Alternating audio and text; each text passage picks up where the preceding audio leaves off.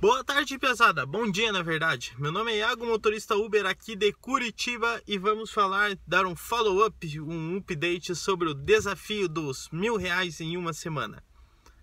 Então, ontem foi quarta-feira, o terceiro dia uh, dirigindo, correndo aí atrás deste desafio. E como foi? Então, ontem eu fiquei até umas 11 e pouco, quase meia-noite na rua. E o meu resultado foram 139 reais e alguns centavinhos. Ah, então, no geral, eu estou com 439 e alguns centavos.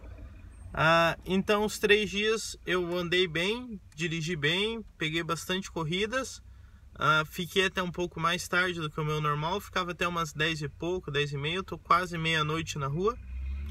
Ah, hoje é quinta-feira, vai ser um dia melhor, geralmente. Quinta-feira já dá uma melhorada e sexta-feira é excelente. Estou uh, bem confiante, vou conseguir com certeza. Então é isso aí, estamos com 43% da missão cumprida. Já estamos, temos 439 reais no bolso. Beleza, piazada?